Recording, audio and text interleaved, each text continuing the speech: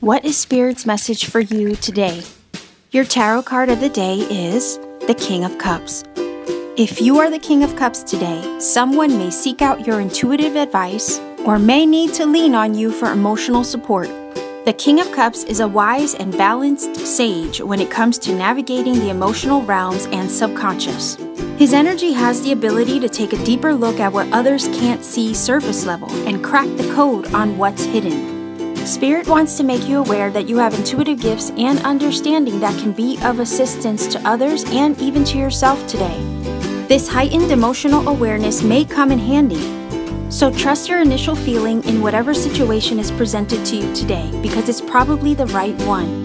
The bonus guidance from Spirit is Although today you may find yourself tending to the emotional needs of others, remember not to neglect your own and trust your inner compass to help you get through your day. Much love, everyone. Take care and always keep shining.